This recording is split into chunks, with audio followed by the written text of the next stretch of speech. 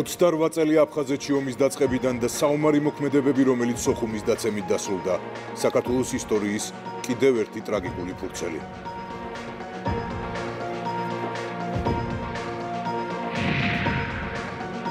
საღამომშვიდობისა პირდაპირ ეთერშია ქრონიკა 8 საათზე.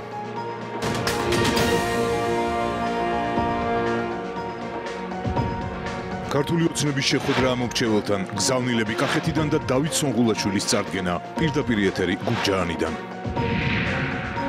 კრიზისი ქართულ სარაგბო სამყაროში კლუბების წარმომადგენლები პრემიერთან შეხვედრას ითხოვენ. სასწავლო პროცესი იწყება რა რეკომენდაციების გათვალისწინებით მოუწევთ მოსწავლეებს და პედაგოგებს საკლასო ოთახებში დაბრუნება COVID სტატისტიკა საქართველოში 23 ახალი შემთხვევა და ვითარება ყაზბეგისა და მესტიის მუნიციპალიტეტებში. მათემატიკური და ალგორითმული აზროვნების კონკურსის გამარჯვებულების დაჯილდოება ქუთაისის საერთაშორისო უნივერსიტეტში.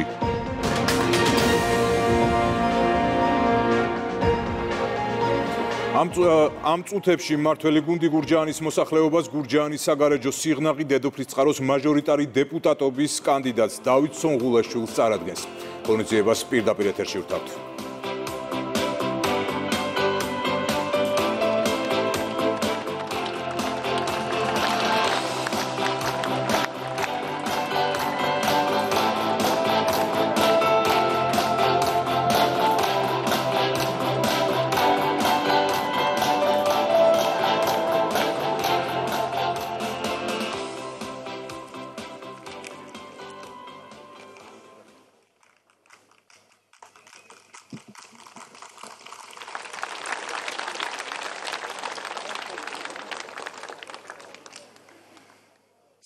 საღამომშვიდობის მოგესალმებით. ხალბატონებო და ბატონებო მივესალმები პრემიერ-მინისტრ ბატონ გიორგი გახარიას მივესალმები მთავრობის წევრებს პარლამენტის წევრებს დამსწრე საზოგადოებას მადლობას მოგახსენებთ დღეს აქ მობრძანებისთვის.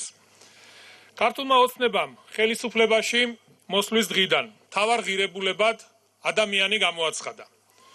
ჩვენ ყველა სფეროში ფუნდამენტური რეფორმების განხორციელება დავიწყეთ ჯანდაცვა და განათლება ყველასათვის ხელმისაწვდომი გახდა. მე აქ ძალიან ბევრ ნაცნობ ადამიანის სახეებს ხედავ და ჩვენ ყველას გვახსოვს 2012 წელს, როდესაც წინა საარჩევნო კამპანია მიმდინარეობს ყველა სოფელი შემოვიარეთ ფეხით. და გვახსოვს თუ რამდენად რთული მდგომარეობა იყო ზუსტად ამ მიმართულებით. ჯანდაცვის სფერო, რომელიც იყო გაუბედურებული და განათლების მიმართულებით. ადამიანებს ელემენტარულად შვილებს პატარებს არ ქონდათ იმის შესაძლებლობა, რომ სახელმძღვანელოები ეყიდათ და რეფორმა, რომელიც განხორციელდა ამ მიმართულებით, არის ძალიან მნიშვნელოვანი. ადამიანის უფლებები გაუნჯობესდა კარდინალურად. ქვეყანაში თავისუფალი და კრიტიკული აზრის დაფიქსირება დანაშაულის თოლფასი აღარ არის და ყველა მოქალაქეს თანაბრად შეუძლია კონსტიტუციით მინიჭებული უფლებების გამოყენება. აქაც ყველა ძალიან კარგად გვახსოვს თუ როგორი დამოკიდებულება იყო განსხვავებული აზრის მქონე ადამიანების მიმართ, განსხვავებული პოლიტიკური შეხედულებების მქონე ადამიანების მიმართ. ჩვენ ყველამ ერთად ერთიანი ძალისხმევით ეს ყველაფერი ჩავაბარეთ царსულს და პირობას გაძლევთ, რომ საქართველოში არასდროს არ დაბრუნდება ის დრო, როდესაც განსხვავებული აზრის მქონე ადამიანები იდევნებოდნენ. ჩვენ თითეული მოქალაქისთვის შევქმნით პირობები, რათა საკუთარი ბიზნესი წამოეწყოთ და ამისთვის არა მხოლოდ ჯანსაღი ბიზნეს გარემო შევქმნით არამედ სხვადასხვა სახელმწიფო პროგრამებით გლეხებს ცირე და საშუალო ბიზნესის წარმომადგენლებს გვერდში დაუდექით და მათი ინიციატივების ნაწილის დაფინანსება სახელმწიფომ საკუთარ თავზე აიღო. სოფლის მეურნეობის მიმართულებით დაინერგა უამრავი პროგრამა, რომელიც მოქალაქეს საშუალებას აძლევს ახალი საქმე წამოიწყოს, საკუთარი ნაშრომი დაასხვიოს და მისი რეალიზაცია პრობლემების გარეშე სახელმწიფოს დახმარებით სახელმწიფოს გვერდში გომით შეძლოს. ნიშნულოვანია რომ ჩვენმა გუნდმა ტრადიციული ბაზრების გარდა ქართველი მეწარმეებისთვის ახალი შესაძლებლობები გახსნა და სოფლიოს უდიდეს ბაზრებთან თავისუფალი ვაჭრობის შეთანხმებები გააფორმა. ასევე მნიშვნელოვანია რომ რეგიონში ტრადიციული სახეობების გარდა მიმდინარეობს დივერსიფიკაცია და ახალი სახეობების გაშენებაც რაც ჩვენს მეწარმეებს კიდევ უფრო კონკურენტ უნარიანს ხოლო ქართულ ეკონომიკას უფრო ძლიერსა და მრავალფეროვანს ხდის. ბუნებრივია, როგორც მთლიანად საქართველოში, ასევე გურჯაანშიც არსებობს პრობლემები. არსებობს გამოწვევები, ჩვენ რეალობას თვალი უნდა გაუსწოროთ და არ უნდა მოგვერიდოს ამაზე საუბარი. რა თქმა უნდა, ბევრი გაკეთდა, ბევრი რეფორმა, ბევრი პროგრამა, ბევრი დაფინანსება, მაგრამ ჯერ კიდევ ერთ-ერთი მთავარი გამოწვევა არის არსებული სოციალურ-ეკონომიკური მდგომარეობა. მაგრამ ჩვენ ერთიანი ძალისხმევით, ერთად ყოფნით, რა თქმა უნდა, ყველა გამოწვევას, ყველა პრობლემას ღირსეულად გადავლახავთ. ჩვენთვის დღეს, ჩვენი ქვეყნისთვის ყველაზე მთავარი და მნიშვნელოვანი არის მშვიდობა, სიმშვიდე და სტაბილურობა. მე დარწმუნებული ვარ, მომავალ საპარლამენტო არჩევნებში, რომელიც 31 ოქტომბერს გამართება, ჩვენი ქვეყნის მოსახლეობის უმრავლესობა მიიღებს სწორ გადაწყვეტილებას და ეს გადაწყვეტილება იქნება პარტია ქართული ოსნება დემოკრატიული საქართველოს მხარდაჭერა. ერთად საქართველოს წარმატებისთვის. ახლა მინდა სენაზე ვთხოვო და სიტყვა გადავცე ჩვენი გუნდის ერთ-ერთ გამორჩეულ ლიდერს საქართველოს პრემიერ-მინისტრ ბატონ გიორგი გახარიას. ხო, ბატონ გიორგი.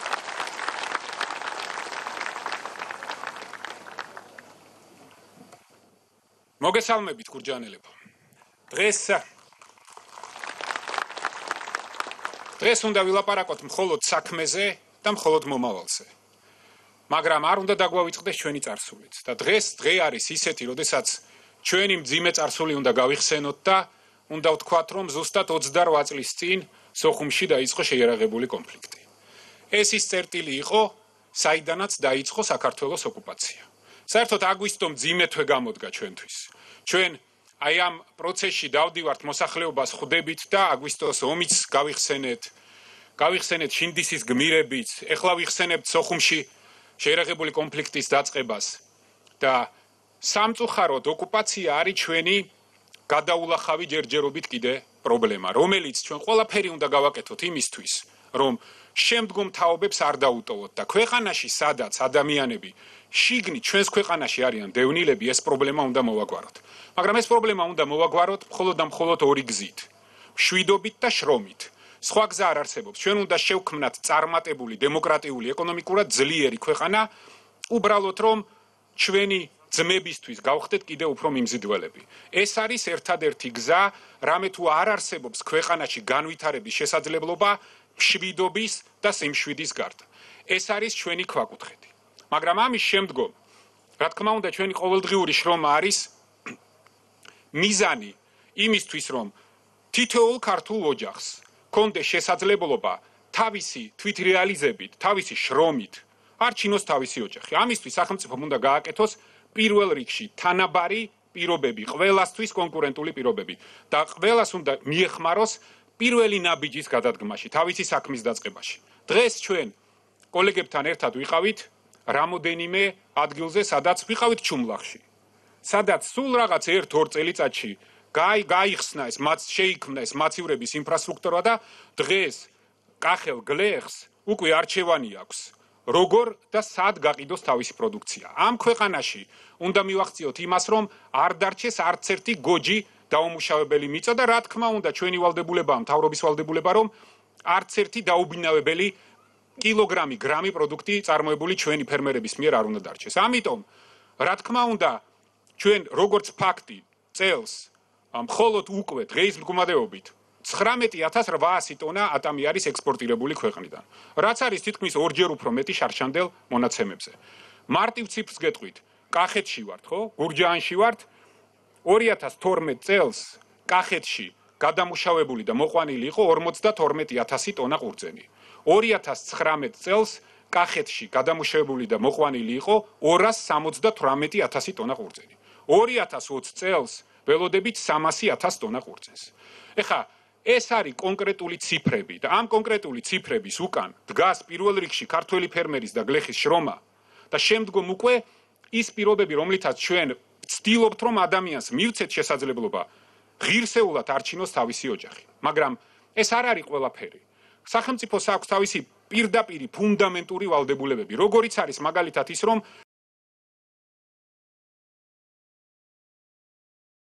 ამიტომ დავიწყეთ ჩვენ განათლების რეფორმა. თითოეული ქართველი ნიჭიერი ბავშვი, რომელიც განათლებას იღებს საქართველოში, როდესაც ქვეყნის გარეთ გავა, სხვა ქვეყნის შვილებთან უნდა იყოს კონკურენტუნარიანი. მან უნდა იცოდეს, რომ მისი განათლების სისტემა არის ისეთი, რომ როდესაც დატოვებს თავის ქვეყანას, დროებით რა თქმა უნდა, მან არ უნდა იგრძნოს თავი დაჩაგრულად და ამისთვის ჩვენ ყველაფერს ვაკეთებთ იმისთვის, რომ განათლების რეფორმა იყოს ეფექტური, ეს ვერ იქნება სწრაფი რეფორმა, მაგრამ პროცესი დაწყებულია და ნაბიჯ-ნაბიჯ ყოველწლიურად პროგრესი უნდა გქონდეს. მეორე და ასევე უაღრესად მნიშვნელოვანი. სახელმწიფოს პასუხისმგებლობა ჩვენი ღვაწლმოსილი მოხუცების, პენსიონერების წინაშე. ჩვენ ყველაფერი უნდა გავაკეთოთ ღარიბ ქვეყანაში, მაგრამ ყველაფერი უნდა გავაკეთოთ იმისთვის, რომ პენსიონერების ღვაწლმოსილი მოხუცების ცხოვრება ასე უცებ არ შეიცვალოს, მათ თავიანთი ყოველდღიური ცხოვრების რაღაცა დონე უნდა შეინარჩუნონ და ჩვენ მათი არა მარტო პენსიით უნდა ვიზრუნოთ, მათ სოციალურ მდგომარეობას უნდა ვიზრუნოთ და რა თქმა უნდა მათ ჯანმრთელობაზე უნდა ვიზრუნოთ. აქედან ყველაფერი ის რაც დაკავშირებულია ჯანდაცვის სისტემის რეფორმირებასთან და სოციალური სისტემის რეფორმირებასთან. სხვას ყველას ჩვენ ამ ქვეყნის ჯანსახ ჯან ჯანით სავსე მოქალაქეებს უნდა გქონდეს იმის შესაძლებლობა რომ ჩვენი აქტივობები, ჩვენი საქმიანობი, ჩვენი შრომით, ჩვენი ოჯახები ღირსეულად ვარჩინოთ. და ამისთვის სახელმწიფო უნდა შექმნას პირველ რიგში თანაბარი პირობები ყველაფრის. ყველასთვის არანაირი კორუფცია, არანაირი ბიუროკრატია. ეს უნდა იყოს ძირითადი ფუნქცია სახელმწიფოს. რა თქმა უნდა, ყველაფერი ეს შესაძლებელია უსაფრთხოების მაღალი სტანდარტების დაცვით. მოგეხსენებათ, რომ ძიმე რეგიონში ვცხოვრობთ. ბევრი გამოწვევები გვაქვს, ოკუპირებული ქვეყანა ვართ, მაგრამ უნდა უნდა გამოვიჩინოთ გონივრულობის უმაღლესი დონე სიფთხილე და მიუხედავად იმისა, რომ ჩვენ ყველაფრისთვის უნდა ვიყოთ მზად, შვიდობა არის ერთადერთი გამოსავალი და ერთადერთი სწორი გამოსავალი არის შრომა. რა თქმა უნდა, ბევრი რამ არის ინფრასტრუქტურულად ქვეყანაში გასაკეთებელი. უამრავი მარტივ მაგალითს გეტყვით. 2012 წლიდან დღემდე კახეთის რეგიონში ინფრასტრუქტურულ მხოლოდ პროექტებში სახელმწიფოს მხრიდან ინვესტირებული არის 728 მილიონი ლარი. საკმარისია? არა, ნახევარიც არ არის. იმიტომ რომ უამრავი გზა არის კიდე გასაკეთებელი. წყალმომარაგება არის უკიდურესად უკიდურესად სერიოზული პრობლემა. საირიგაციო სისტემები არის უკიდურესად სერიოზული პრობლემა. სკოლების და ბაღების რეაბილიტაცია არის უკიდურესი აუცილებლობა. და ეს ყველაფერი ჩვენ უნდა გავაკეთოთ ერთად. ბევრი კარგი საქმეა დაწყებული. რაც მთავარია, ამ ქვეყანაში ერთხელ და სამუდამოდ უნდა დამყარდეს სამართლიანობის შეგრძნება, რომ ის ის ლიმიტირებული ცოტა რესურსი, რომელიც ქვეყანას გააჩნია, იმიტომ რომ ჯერ კიდევ ღარიბი ქვეყნის და ღარიბი ეკონომიკის შვილები ვართ, სამართლიანად იყოს გადანაწილებული ყველასთვის. რაც ჩვენ ვეცადეთ გაგვეკეთებინა ამ პანდემიის და ეკონომიკური კრიზისის დროს. როდესაც ვცადეთ მივსულიყავით და დავხმარებოდით ყველა იმ ადამიანს, ვისაც ყველაზე უფრო უჭირდა, იმიტომ რომ ქვეყნის შესაძლებლობები, ეკონომიკა, ფინანსური რესურსები შეზღუდულია, ამიტომ სწორ მიზნაბრიობას და სამართლიანობას აქვს უკიდურესად დიდი მნიშვნელობა. აქედან გამომდინარე ჩვენ გავაგრძელებთ რომ დავეხმაროთ ფერმერებს. გავაგრძელებთ რომ გავაგრძელებთ თუნდაც გვესმის რომ ეკონომიკურად არ არის სწორი ყურძნის სუბსიდირება, მაგრამ არ არის სწორი განვითარებულ ევროპულ ქვეყნებში. საქართველოში ეს სწორია. არ არის სწორი ვაშლის სუბსიდირება, მაგრამ როდესაც უყურებთ რომ გლეხს, ქართლელ გლეხს, რომელმაც მოიყვანა ამდენი შრომით ვაშლი უსუბსიდირებენ, უხდიან 10 თეთრს რა თქმა უნდა სახელმწიფო უნდა მიეხმაროს. აგერ არ ჭირდება სუბსიდირება ატამს. ხო, უნდა არ ჭირდება სუბსიდირება თხილს დღეს. უნდა მივეხმაროთ დარგებს, რომ დადგნენ ფეხზე. და რა თქმა უნდა, ჩვენ ყველაფერს გავაკეთებთ და ერთმნიშვნელოვნად გვერდით დაუდგებით კახელ გლეხს და კახელ ფერმერს ამ რთველის დროსაც. მოკლედ რომ გითხრათ, არ არ არ მინდა ახლა გავაგრძელო კონკრეტული პროექტები, რომლებიც აქ იქნება. იქნება ველისციხის რეაბილიტირება, რომელიც უახლოეს პერიოდში დაიწყება და დასრულდება. იქნება გურჯაანის შემოვლითი გზა, რომელიც აი ამ გზას განტვირთავს ადამიანებს უბრალოდ გზის ორივე მხარეს ნორმალური ცხოვრების შესაძლებლობას მისცემს. უდიდესი ინვესტიციებია და სერიოზული სამუშაოა წყალმომარაგების გასაკეთე წყალმომარაგების თვალსაზრისით გასაკეთებელი. კარდენახში ეგერ აშენდება სკოლა. 7 მილიონი იქნება ინვესტირებული სკოლებში, იმისთვის რომ ბავშვებმა ნორმალურ უბრალოდ გარემოში ისწავლონ. ეს საბოლოო ჯამში მინდა გითხრათ რომ ადამიანზე, ქართულ ადამიანზე, საქართველოს მოქალაქეზე ზრუნვა იყო, იქნება ამ ხელისუფლების და ქართული ოცნების ძირითადი მიზანი სამართლიანობა და კეთილსინდისიერობა ბიუროკრატიის, იქ სადაც ვინმე დასასჯელია, ერთი ერთი ერთი რამ არის სათქმელი და თუ ხალხს არჩეული ადამიანი, არჩეული თუნდაც ადგილობრივი ხელისუფლების დონეზე შესაბამისად და ღირსეულად და კეთილსინდისიერად არ ემსახურება საქართველოს მოქალაქეს, რა თქმა უნდა ჩვენ ყველამ ერთად უმკაცრესი ღონისძიებები უნდა მივიღოთ. მე მინდა ასევე გითხრათ რომ ღირსეული წარმომადგენელი გეყოლებათ საქართველოს უმაღლეს საკანონმდებლო ორგანოში დათო სონღულაშვილი არის უაღრესად განათლებული ამ კუთხეზე შეყვარებული და ყველაფერს თავი რო დავანებოთ დღეის მდგომარეობითაც ერთ-ერთი ყველაზე აქტიური დეპუტატი. აი უბრალოდ ჩემი გამოცდილებიდან გეუბნებით, რომ აი თავს არ დაგანებებს სანამ თავისას და მე დარწმუნებული ვარ, რომ ჩვენ ერთად სუყველა ამ ბრძოლაში, სამართლიან ბრძოლაში დამსახურებულად გავიმარჯვებთ. გამარჯვებას გისურვებთ.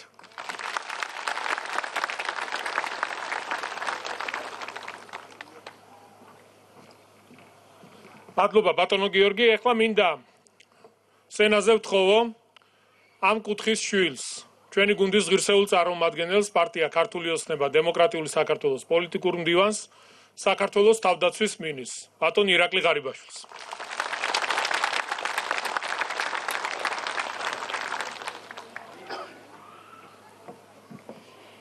საღამოშდობის მეგობრებო მე მოგესალმებით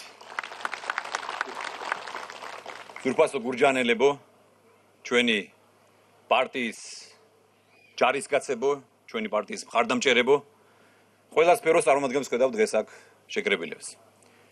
დიდი პატივია ჩემთვის, რომ მივიღო მონაწილეობა დღეს ამ ლამას აღამოს. მე მინდა ჩემი გამოსვლა ასევე დავიწყო იმ ტრაგედიის გახსენებით, რომელიც ჩვენ ყველა მერთად გამოცეთ ამ ქვეყანაში, ეს არის აფხაზეთში დაწყებული შეერაღებული კონფლიქტის 28 წლის თავი. მოგეხსენებათ, რომ კონფლიქტი გაგრძელდა 13 თვეს და 13 დღეს. და შედეგად ჩვენ მივიღეთ 300000 დევნილი და 10000 ჩვენი თანამოქალაქის სიკვდილი. ომი მოასწავებს სიკვდილს, მეგობრებო. უბედურებას, ნგრევას, დესტაბილიზაციას.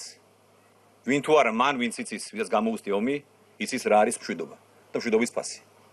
აი მშვიდობაზე მინდა გითხრათ რამდენიმე სიტყვა. 2012 წელს ჩვენ ვიდექით კიდევ უფრო დიდი საფრთხის წინაშე. 2008 წელს წინა ხელისუფლებამ ვერ აგვაცილა დიდი განსასწრელი და უბედურება, როგორც არის ომი, რომელიც ჩვენ უკვე გამოვცადეთ მანამდე. შედეგად ჩვენ მივიღეთ ასე მეტი დაკარგული სოფელი, მინდა გავიმეორო, კიდევ ერთხელ შევახსენო. ჩვენს დესტრუქციულ ოპონენტებს.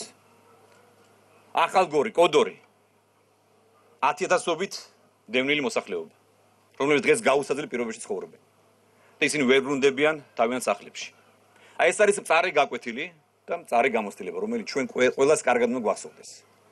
ჩვენი ოპონენტები საყვედურობენ რატო ვიხსენებ წარსულს ჩვენ ყოველთვის შევახსენებთ მათ ამ ძიმე წარსულს და ძიმე შეცდომას კი რა დანაშაულს მანამ სანამ ეს ადამიანები არ მოიხდიან ბოდიშს თითოეულ ქართულის წინაშე და რა თუ ექნებათ სურვილი დაბრუნების ხელისუფლებაში არამედ სურვილი ექნებათ პოლიტიკაში დარჩენის შესაბამისად სრული პასუხისმგებლობით უნდა გამოცხადოთ რომ ჩვენი საერთო ეროვნული ამოცანა უნდა გახდეს ყველა ნებისმიერი სახელების გარეშე დესტრუქციული ოპოზიციის თუ პოლიტიკური ძალის პოლიტიკური ველიდან გაყვანა.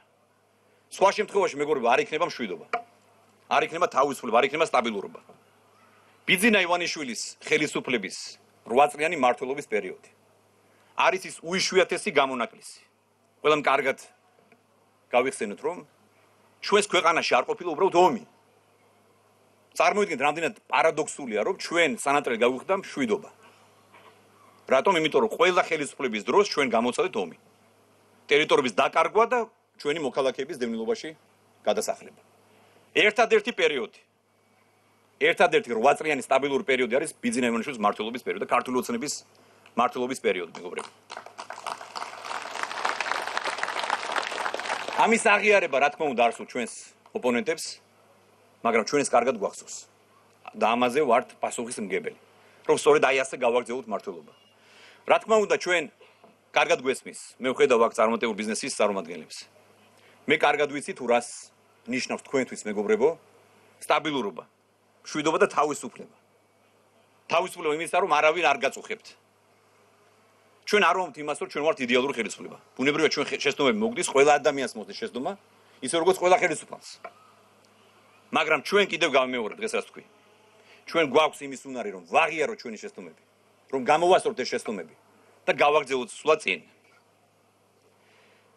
ახლა რაც მინდა კიდევ დავამატო ჩვენი საერთო ამოცანა რა თქმა უნდა არის ის რომ რაც პრემიერმა ისაუბრა და ჩვენმა გენერალ დივანმა რომ რაც შეიძლება მოკლე ვადაში აღმოიფხვრა სიგარები ეკონომიკური სიდუხჭირე უმუშევრობა რაც არ არის მარტივი გასაკეთებელი ჩვენ კარგად გვესმის ეს ქართული ოცნების პირობებში ჩვენ არაერთი წინსვლა და წარმატება გვაქვს მიღწეული თუნდაც შეიძლება კიდევ ერთ რამდენჯერმე გავიმეოროთ ბაზრების გახსნა. აი რას ნიშნავს ბაზრების, თავისუფალი ბაზრების გახსნა, თუნდაც გურჯანელ გლეხებისთვის.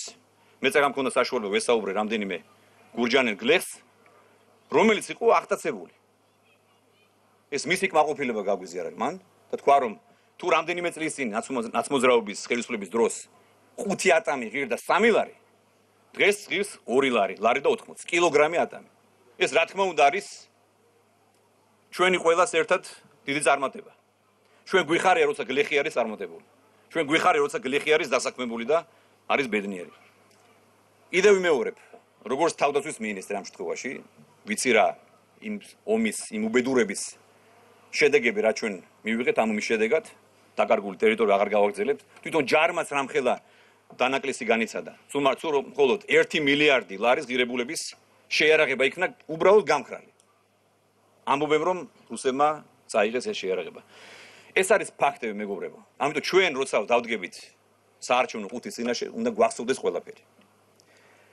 არჩევანი დგას ქაოს, დესტაბილიზაციას, ომსა და მეორეს მხრივ შვიდობას, სტაბილურობას და თავისუფლებას შორის. რა თქმა უნდა ჩვენ მე ღრმად ვარ დარწმუნებული რომ მოსახლეობის აბსოლუტურ უმრავლესობა მიიღებს ბრძნულ გადაწყვეტილებას. და კიდევ ერთხელ გაამყარებს იმ თავარ მონოპოლს, რომელიც ჩვენ ყველამ ერთად მოვიპოვეთ 2012 წელს. მე მინდა ჩვენს მეგობარს დათო სონღულაშვილს მიულოცო დღევანდელი დღე და წინასწარ მიულოცო გამარჯვება ვინაიდან დარწმუნებული ვარ მის წარმატებაში იმიტომ რომ ასეთი ახალგაზრდების ასეთი მონდომებული ამბიციური წარმატებული კრეატიული ხალხი ჭირდება ჩვენ დღეს პარლამენტში და ვინ თუ არა დათო მიცი ძალიან კარგად რა ჭირდება გურჯანს დედოფლისწყაროს ციგნაკს საგარეჯოს ასე რომ უსურვოთ მას წარმატება და კიდევ ერთხელ მადლობას მოგახსენებთ ხარდაჭერისთვის. მერტი იყო ჩვენი პარველი.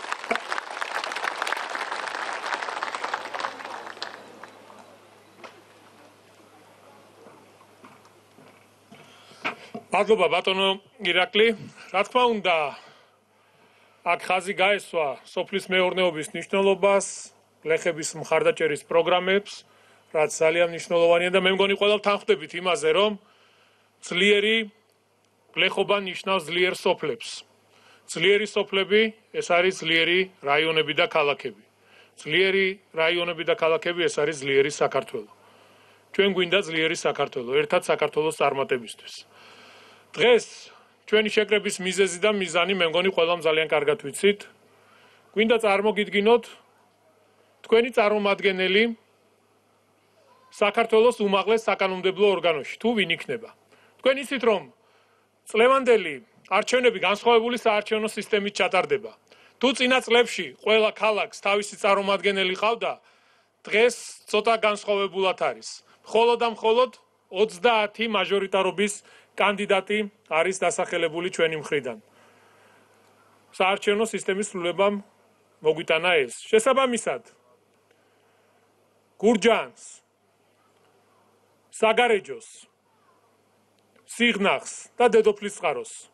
ეყოლება ერთი ღირსეული ადამიანი წარმომადგენელი საქართველოს პარლამენტში, რომელიც იქნება თქვენი ინტერესების დამცველი და თქვენი ინტერესების გამტარებელი. მე მინდა ახლა სცენაზე ვთხოვო ადამიანს, რომელიც დაიბადა გურჯანში, არის ძალიან მაგარი კახელი კაცი, განათლებული ჩვენი გუნდის ღირსეული წარმომადგენელი თავისი საქმეებით აქვს მას დამტკიცებული თუ რა შეუძლია და ის ამ ბრძოლაში მარტო არ არის. მას ზურგს უმაგრებს ქართული ოცნების ძალიან დიდი და ძლიერი გუნდი. შესაბამისად ჩვენ ერთად შევძლებთ ყველა იმ გამოწვევას უპასუხოთ ღირსეულად, ერთად შევძლებთ დავამარცხოთ ყველა ის პრობლემა, რომელიც გურჯაანს აწუხებს. ეხლა მინდა სცენაზე ვთხოვო დავით სონღულაშვილს, რომელიც არის პარტია ქართული ოცნება დემოკრატიული საქართველოს მაჟორიტარობის კანდიდატი და მე დარწმუნებული ვარ თქვენი მხარდაჭერით, თქვენი თანადგომით ის პირველივე ტურში მიაღწევს გამარჯვებას. მადლობა და გისურვებთ წარმატებებს.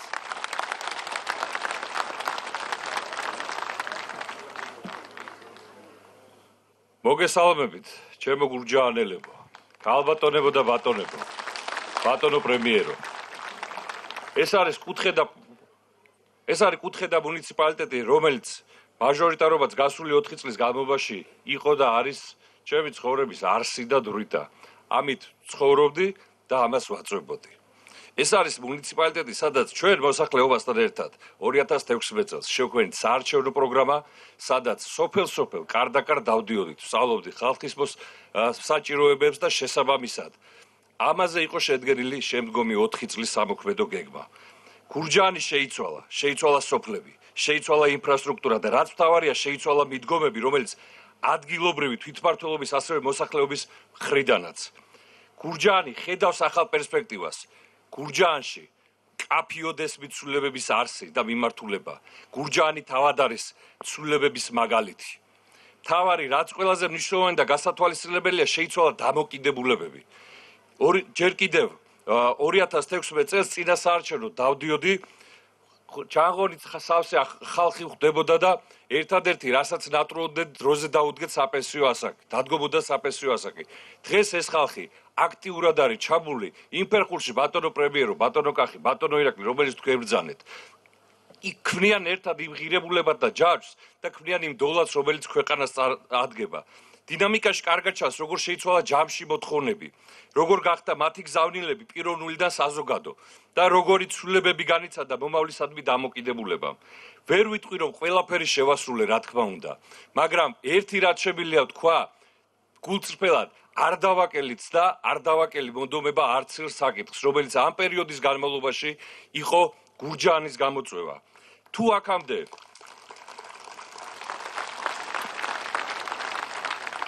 თუ აქამდე გურჯაანში რთველს მარტო ერთვიან პერიოდს ეძახდა როცა ყურძენი იკრიფებოდა ეხლა ამ პერიოდის განმავლობაში რთველი ეს არის მოსავლის აღების ზეიმი რომელიც იწყება მაისიდან მარწყვის აღების პერიოდიდან მარწყვის კრეფის პერიოდიდან გრძელდება ივნისი-ივლისში ატმით და რა თქმა უნდა გვირგვინდება ყურძნის რთველით და ეს მხოლოდ და მხოლოდ იმიც არის შესაძლებელი რომ ჩვენ გურჯაანელებო ერთად დავდექი და შევძელით ამის ერთად კეთება. მუნიციპალიტეტში გზავრობისას შეარჩევი ძალიან ბევრი შენებარე ობიექტები, ძალიან ბევრი სკოლები, ძალიან ბევრი ბაღები განახლდა. შენდება ტექნოპარკი, ხდება ცენტრალური პარკის რეაბილიტაცია, აშენდა ათობით სამაცივრე მეურნეობები. ეს შესაძლებელი იყო ეკონომიკის სამინისტრო და სოფლის მეურნეობის სამინისტროს და მთავრობის გვერდში დგომით, რა თქმა უნდა, და ეს მხოლოდ და მხოლოდ გურჯაანელების მოთხონ მონდომები და გურჯაანელების გვერდში დგომით. ეს ხვანაირად არ იქნებოდა. მარტო ერთი კაცი ამ საქმეს ვერ გავაკეთებდი. ჯამში რაც მინდა ვთქვა და დავამატო ამ ყველაფერს, თუ 2016 წელს ცენტრალური ბიუჯეტი და დაფინანსება ინფრასტრუქტურულ პროექტებზე იყო აა 2016 წლიდან ინფრასტრუქტურულ პროექტებზე 4ჯერ გაიზარდა დღემდე. ინვესტიციები გურჯაანში ზუსტად 11ჯერ არის გაზრდილი. ეს გვიქმნის იმის პერსპექტივას, რომ ჩვენ ერთად შევძლოთ იმ გამოწვევების დამარცხება, რომელიც დღეს გურჯაანელებთან გვიდგას, გურჯაანის წინაშე გვიდგას. ეს არის ის წყლის პრობლემები, ის გზის პრობლემები, რომელიც დღეს ისედაც არსებობს და დგას, მაგრამ ეს მხოლოდ და მხოლოდ თქვენი გვერდში დგომით იქნება შესაძლებელი. რა თქმა უნდა, ეს ადვილი არ არის. რა თქმა უნდა, ეს ძალიან რთული დაპირება, თუმცა ეს გაკეთებადია თუ ჩვენ ერთად დავდგებით საქმის საკეთებლად. ამიტომ ჩვენი დაპირებაც არ იქნება მარტივი შესასრულებელი, მაგრამ დარწმუნებული ვარ, რომ როგორც 4 წლის წინ მიცემულ დაპირებას ახლაც ყველა შევასრულებთ. განვილი 4 წელი ჩემთვის და ჩვენი თანამოაზრებისთვის იყო იმედისა და ღირსების მარში. ჩვენ არ შეგვიძლია დავივიწყოთ ის მომენტი, რომ მთელი ამ პერიოდის განმავლობაში გურჯანს დაუბრუნდა ფუნქცია, გურჯანელებს დაუბრუნდათ ღირსება. ის ღირსება, რომლითაც დღეს ამაყობენ, რომ გურჯანში ტარდება ყველაზე მაგარი თველის ფესტივალი, თურაც საქართველოსში ტარდება. საერთაშორისო დენის კულინარიის ფესტივალი. ეს მხოლოდ გურჯანელების გვერდში დგომით იქნა და მხოლოდ გურჯანელების ჩართულობით იქნა. ჩვენ შევძლებთ, რომ ამ 4 წლის განმავლობაში სახალხო მოძრაობის დასაწყისში ჩაუყარეთ სათავე. თვითდაჯერებული და მომავლის იმედი დახსავსე გურჯანელებისთვის. დიახ, ჩვენ ხელისუფლება არის სიტყვის შემსრულებელი, სიტყვით საქმით შესრულებული ხელისუფლება. დიახ, მე ვარ გურჯანის დეპუტატი ქართული ოცნებიდან დავით სოღულაშვილი და ვიცი სიტყვის ფასი და სიტყვის საქმეთ ქცევას. დიახ, ჩვენ ერთად უკვე მივახციეთ გარკვეულ წარმატებას და დიახ, ჩვენ უფრო დიდ წარმატებას აუცილებლად ერთად მივახცეთ. დიდი მადლობა ჩემო გურჯანელებო.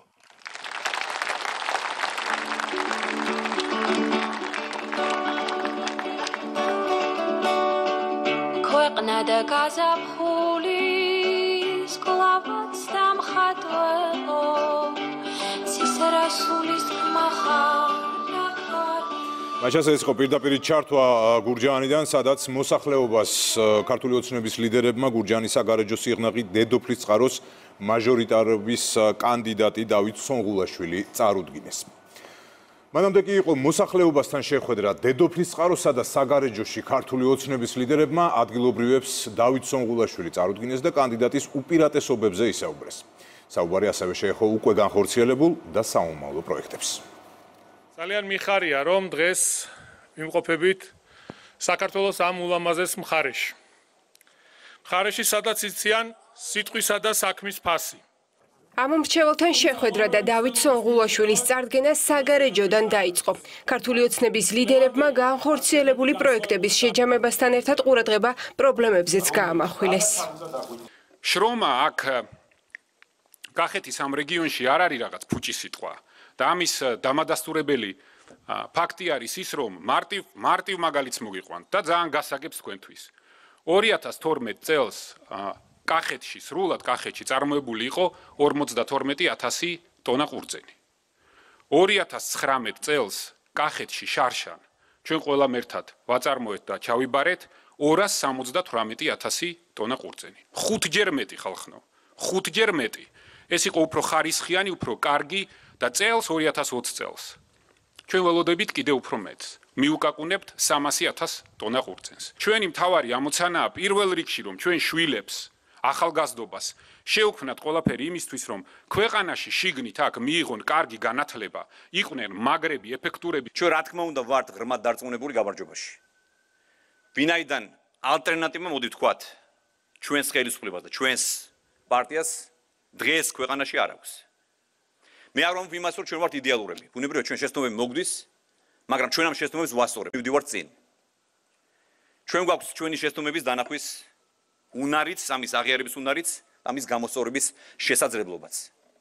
ჩვენი გუნდი პრემიერის ხელმძღვანელობით, ჩვენი მთლიანი ქართული ოცნება, მისი ლიდერის ბიზნესმენის ხელმძღვანელობით, მე მჯერა რომ ამ მონაპოვარს, თავარ მონაპოვარს თქვენთან ერთად ზურფასო მეგობრებო, კიდევ უფრო განამტკიცებს 2020 წლის ოქტომბრის არჩევნებში. ჩვენ ძალიან ბევრს საუბრობთ, თუ რა პროექტები განხორციელდა 2012 წლის შემდეგ, რა რეფორმები გავატარეთ, თუ როგორია მხარდაჭერა და თანადგომა სახელმწიფოს მხრიდან სხვადასხვა მიმართულებებით.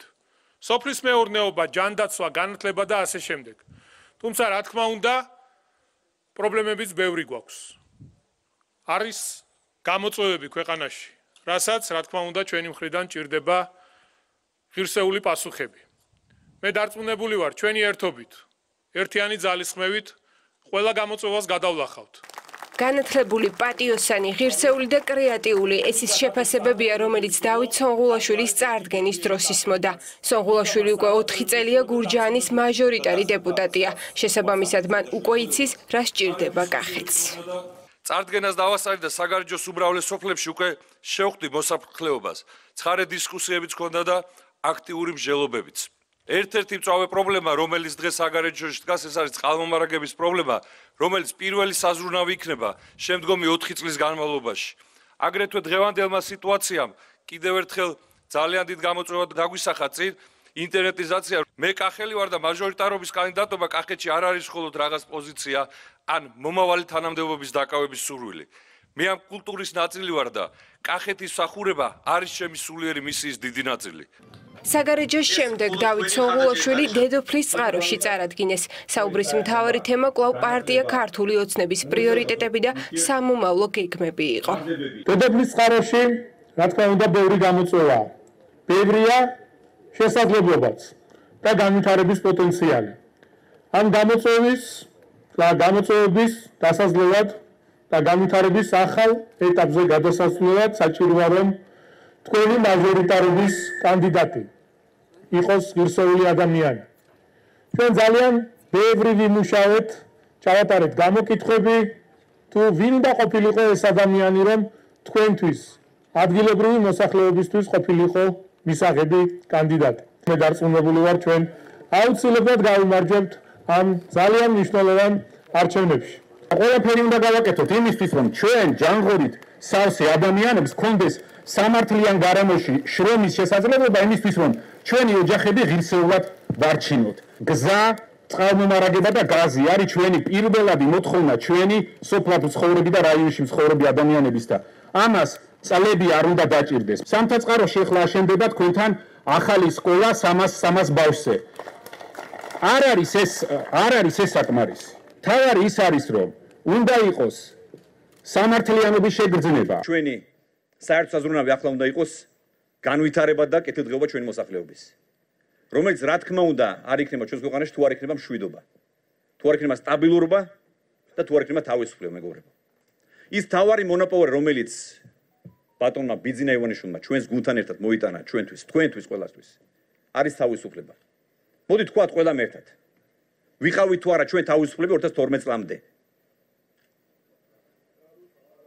რა თქმა უნდა არ ვიყავით. შესაბამისად ჩვენი საერთო ამოცანა არის ის რომ ის მთავარი მონოპოლარი რომელიც ჩვენ ყველამ ერთად მოვიპოვეთ გამყარდეს 2020 წლის ოქტომბრის არჩევნებით. როგორც კახეთის შუს ყოველთვის გულწრფელად მიხარო და ის უზარმაზარი ცვლილებები რომელიც ამ მუნიციპალიტეტში გახორციელდა. მოწესრიგდა საგზაო და სამედიცინო ინფრასტრუქტურა, რეაბილიტირდა თითქმის ყველა ბაღი და სკოლა. გაზიფიცირდა თითქმის ყველა სოფელი. მოსახლეობა ყველაზე კარგად იცის რომ ქართული ოცნების ხელისუფლებას არ აქვს ალტერნატივა. თითოეულ თქვენგანთან მოვალ, თითოეულ პრობლემას გავეცნობი. დავით სოღულაშვილი, სიტყვას გაძლევთ, რომ ვიქნები ყოველთვის თქვენს გვერდით და თავდაუზოგავად ვიშრობებ თითოეული დაპირება შესრულდეს. დავით სოღულაშვილის მხარდამჭერებს შორის არიან საზოგადოებისთვის ცნობილი სახეები. დღეს ისინი შეხვედრას ქართული ოცნებისა და დავით სოღულაშვილის მხარდასაჭერად დაესწრნენ. ჩემი აკოფნა რა თქმა უნდა ნიშნავს მხარდაჭერას პირველ რიგში რომ დათო ჩემი დიდი ხნის მეგობარია ახალგაზრდა კაცია ენერგიული ყველაზე მთავარი ის არის რომ იცის რა ჭირდება თავის რაიონს. ძალიან დიდი ხანია ვიცნობ ბატონ დავითს და დარწმუნებული ვარ რომ ი ყოველ შემთხვევაში რა საქმესაც აკეთებდა აუცილებლად გააგრძელებს. და ვფიქრობ რომ ძალიან კარგი კანდიდატურაა. ჩვენი კახელების ხმა როდესაც იქნება ქართულ პარლამენტში სასიკეთოდ იქნება და რამე სერიოზული მოხდება და კარგი მოხდება ჩვენი ქვეყნისათვის. იმიტომ რომ დათოს კარგად ვიცნობ და პატივს ვცემ მას როგორც პიროვნებას და ადამიანს დავით სონღულაშვილი საგარეჯოს დედოფლის წყაროს გურჯაანისა და სიხნაღის მაჟორიტარი დეპუტატობის კანდიდატია. მართულ გუნჩი მის გამარჯვებაში დარწმუნებულები არიან. მაჟორიტარი დეპუტატობის კანდიდატის წარდგენის შემდეგ ქართული ოცნების ლიდერები საგარეჯოში სახელმწიფოს მხარდაჭერით შექმნილ ჩირის საწარმო ჯეო ორგანიკში იმყოფებოდნენ. სოფლის მეურნეობის სამინისტროს პროგრამების მხარდაჭერით შექმნილი საწარმო წელიწადში 600 ტონა ხილს ამუშავებს. მომავალი წლისთვის კი 1000 ტონამდე ხილის გადამუშავებას შეძლებს. საწარმოს სრული ინვესტიცია 5 მილიონი ლარია. 50 კაცია დღეისათვის დასაქმებული ამ საწარმოში 90% საგარეჯოელი ვარიან ესე ვთქვათ და ფიქრობ წარმატებული საწარმო იქნება და ეს პროგრამები რომელიც ხორციელდება დღესდღეობით ბიზნესისთვის ჰაერივით საჭიროა. და მე მოუწევებ ყველა ბიზნესმენს ისარგებლოს ამ აგროკრედიტის, რათა შექმნათ ესეთი ახალი საწარმოები, ახალი სამუშაო ადგილები, რაც ქვეყანას სჭირდება აუცილებლად. ხილის მიღება მიღების პროცესი დაიწყეთ და ხილის გადამუშავებას მიყვებით და უნდა ვაწარმოოთ ჩირი ზოგადად და არის ძალიან მნიშვნელოვანი და კარგი იმისთვის, რომ დასაქმდა ადგილობრივი მოსახლეობა, სამომავლოდ იგეგმება, რომ კიდევ გავზარდოს ეს მაჩვენებელი ქართული ოცნების ლიდერებმა კარდენახში დღეს სასტუმრო ამპელოს დაათვალიერეს. მშენებლობა 2014 წელს დაიწყო და საერთო ბიუჯეტი 6 მილიონ ლარს შეადგენს, რომლიდანაც 1 მილიონის სახელმწიფო პროგრამა აგროკრედიტის ფარგლებში დაიხარჯა. 5 მილიონი კი კომპანიის ინვესტიციაა. კომპლექსი ღვინის საწარმოს, რესტორანსა და სასტუმროს 20 ნომერს აერთიანებს. კომპანიის ვენახებში 10 ადამიანია დასაქმებული, სეზონურად კი 40-მდე ადამიანი. ამჟამად სასტუმროში 36 მოქალაქე მუშაობს.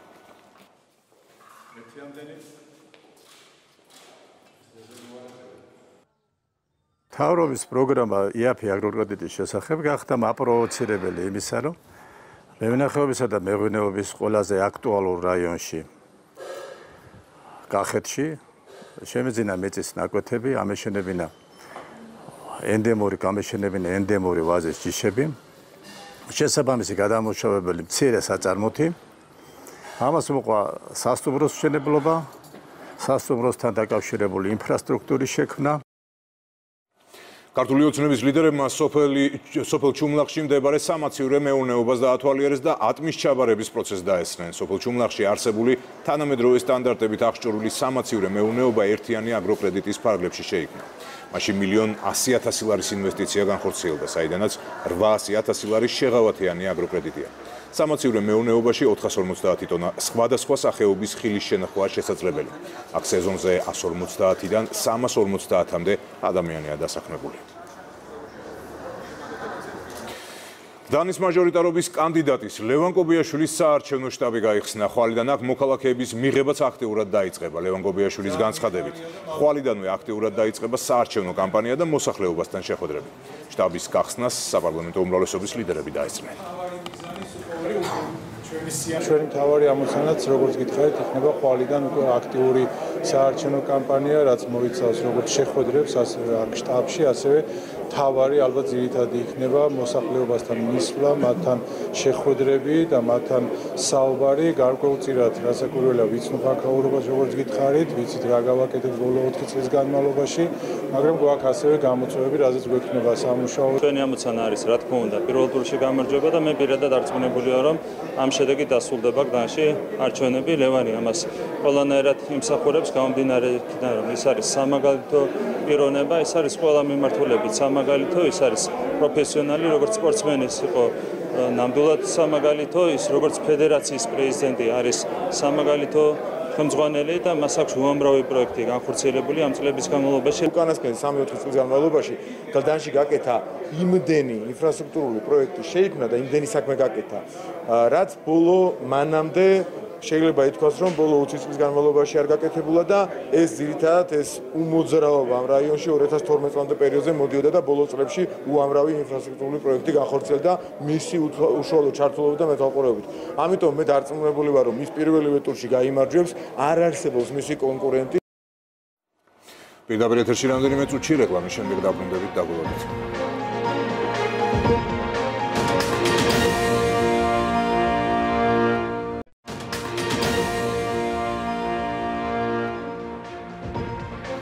ქრონიკა კლავ პირდაპირ ეთერშია. გიორგი გახარია ქართულ მურაგბეებს შეხვდება. ამას გარდა ქართული ოცნების დამფუძნებელი ბიძინა ივანიშვილი მზად არის კლავ ხელი შეუწყოს სპორტის ამ სახეობის განვითარება საქართველოში.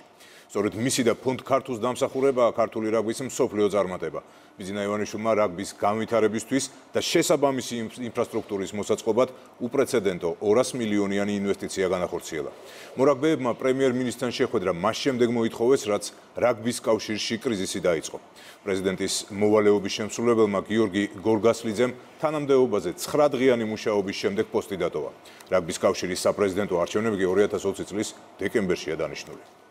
კომუნიკაციის პრობლემა იყო ერთმანეთის მოსმენა არ უნდათ 9 დღიანი მუშაობის შემდეგ რაგბის კავშირის პრეზიდენტის მოვალეობის შემსრულებელმა გიორგი გორგასლიძემ თანამდებობა დატოვა. კავშირის ოფიციალურ ვებგვერდზე გავრცელებულ განცხადებაში წერია, რომ ამის მიზეზი შექმნილ სიტუაციაში შემოთავაზებული მართვის მისთვის მიუღებელი ფორმა იყო. მის მიმართ შეურაცხყოფელი გამონათქვამები იყო საფუძველი იმისა, რომ გადამდგარიყო. ნორმალური ადამიანი მათ მოსმენას და ქმედებას ვერ აიტანს ვერავინ. ბრძოლის უნარიანია და სულ მზად იქნება, რომ ეგეთ ვიგინდარებთან თქვას თავისი ღირსეული სიტყვა. საბჭო უნდა შედგეს, მაგრამ უფრო კვალიფიცირებული და უფრო რაღაც ისეთი ხალხისგან უნდა შედგეს, რომ ერთმანეთის დანახვა კი არ ზულდეს ერთმანეთის დანახვა და ერთმანეთის ეჯეროს. კლუბების საინიციატივო ჯგუფის წევრებმა კი ერთობლივი ბრიფინგი გამართეს. ისინი კრიზისული მართვის სათათბირო საბჭოს სასწრაფოდ შექმნას და პრემიერ-მინისტრ გიორგი გახარიასთან შეხვედრას ითხოვენ. სასწრაფოდ შეიქმნას საბჭო და ამ საბჭოში იყოს კლუბების სამი წარმომადგენელი და ეს საბჭო გვინდა რომ ძალიან სწრაფად შეხვდეს პრემიერს, რათა იმ პრობლემების გადაწყვეტაზე ვიმუშაოთ, რომელიც დღეს რაფში არსებობს. 32 გუნდიდან 31 ერთ პოზიციაზეა. ლელო სარასენსი კი საინიციატივო ჯგუფში შესვლისგან ჯერჯერობით თავს იკავებს. საინიციატივო ჯგუფის წევრები კი აცხადებენ, რომ ლელოს მათ კავშირში შესვლას ამ გუნდის დამფუძნებელი ბათუ კევლიშვილი აფერხებს, რომელიც ამავდროულად გამგეობის წევრიცაა. რა იდიოტიზმია რა არის? მე პასუხი ვერაფერი თქვენ არ ვარ თქვენს. ეს ყველაფერი არის სიცრუე. რატომ არ მოწერე მაგათ თულელებს ხელი? მათი ქმედება გადასულია ზღვარს. სარაგბო გუნდების უმრავლესობა სერიოზულ ფინანსურ კრიზისშია. განიხილება ვარიანტი, რომლის მიხედვითაც შესაძლოა ჩემპიონატის მონაწილე გუნდების რიცხვი 10-დან 12-მდე გაიზარდოს.